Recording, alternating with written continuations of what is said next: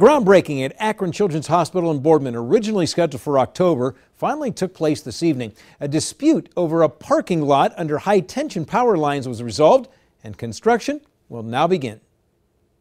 About 150 people, administrators, doctors, parents, and kids, gathered this evening at Akron Children's Hospital in Boardman for the groundbreaking of a new $18.6 million expansion that will add 47 new exam rooms. Well, we'll be able to have most of our services here on this campus, so it'll be much more convenient for our patients and families.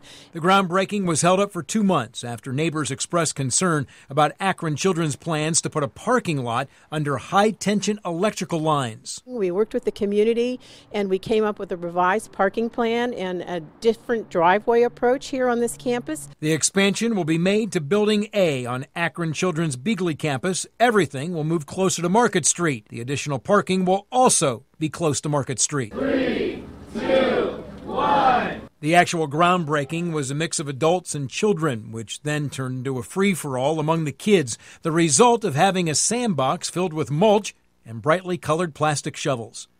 The event also marked the seventh anniversary of Akron Children's opening of the Beeghly campus. Our expectations have been far surpassed by the way that the Mahoning Valley community has embraced the children's mission. Well, among the new services that will relocate to the new building are allergy, genetics, cardiology, general surgery, orthopedics, and a new service, sports rehabilitation. Akron Children's will also vacate most of the space it uses at St. Elizabeth and Boardman. Only the NICU will remain. The expansion should be done sometime in April of 2017.